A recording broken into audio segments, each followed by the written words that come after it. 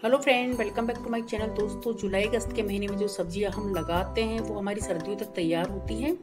तो यहाँ जो लास्ट ईयर की जो हमने बैगन लगाए थे तो सबसे अच्छी वेरायटी का जो बैगन था, वो मैंने रख लिया। उसी तरह से सब्ज़ी वालों से जब हम करेले लेते हैं तो उन करेले के बीजों को भी आप रख सकते हो। इधर ये सेम की फली है तो आप जो बेल लगाते हो, उसकी जो फलियाँ आती हैं, उनमें से आप कुछ फलियाँ रख लें। ऐसे चूल्हे की फलियाँ मैंने ली इधर मिर्ची ली है तो मिर्ची तो घर में जो सब्ज़ी में आती है, उन्हीं को आप लगा सकते हो सुखाकर। तो इस तरह से काफ़ी सारे बीज हम एकदम फ्री में तैयार कर सकते हैं। सब्ज़ी वालों से लेकर डायरेक्ट सब्जियों के बीज भी हम लगा सकते हैं। उनकी वीडियो काफ़ी सारे मैंने शेयर किए हैं। उसी तरह हम लगाएँगे करेले के बीज। तो ये हमने सब्ज़ी वालों से जो करेला लिया था, उसी के ये बीज है और इनको मैं लगा रही हूँ।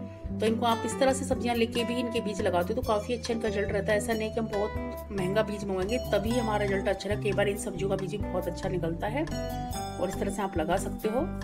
तो यहाँ मैं काफ़ी सारे तीन चार बीज लगा दूँगी और लास्ट में हम इसमें जो अच्छे प्लांट होंगे हमारे वही रखेंगे। तो बीज हमेशा तीन चार आप ज़रूर लगा दें, क्योंकि कई बार होता है हमारे कई बीज निकलते नहीं है, खराब हो जाते तो मेहनत पूरी खराब हो जाती है। तो आप जैसे चार पाँच बीज लगा लें, जो फिर बाद में आपको जो सही प्लांट लगे, उसमें अच्छे हेल्दी हों, उनको रख लें, बाकी को हटा दें उसमें से। और लगाने के बाद अच्छे से पानी इसमें दे दें। तो ये देखो, पुराने मटके के अंदर मैंने करेले लगाए हुए हैं। काफ़ी अच्छे करेले यहाँ लगे हुए हैं। तो जो घर में हमारा पुराना वेस्ट मटेरियल निकलता है, उनमें भी आप प्लांट्स ग्रो कर सकते हो। रिज़ल्ट बहुत अच्छा रहता है। एकदम पुराने मटके के अंदर मैंने ये लगाए हुए बहुत अच्छे से मेरे करेले लगे हुए हैं। और मेरे तो अधिकतर जो पोट हैं, एकदम फ्री के मैंने तैयार किए हैं। यहाँ देख लो कितनी अच्छी मेरी करेले की बेल लगी हुई है और पुराना मटका यहाँ लिया है।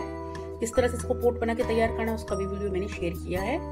इस तरह से एकदम फ्री में हम प्लांटर तैयार कर सकते हैं, बीज भी हम फ्री में ले सकते हैं। एकदम ज़ीरो बजट से हम गार्डनिंग शुरू कर सकते हैं। यहाँ देख लो कितनी अच्छी सब्ज़ियाँ यहाँ लगी हुई हैं, करेले लगे हुए हैं, बैगन लगे हुए हैं। तो काफ़ी सारी सब्ज़ियाँ मैंने यहाँ लगा रखी हैं।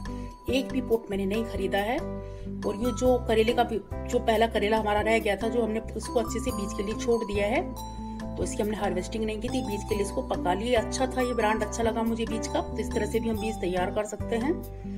तो इस तरह से आप घर में काफ़ी सारे बीज तैयार कर सकते हो, बैगन के बीज तैयार कर सकते हो, करेले के कर सकते हो, और ये काफ़ी अच्छे चलते हैं। तो मैं इस तरह से बीज तैयार करती हूँ बैगन के तो काफ़ी रंगों में बैगन लगते हैं।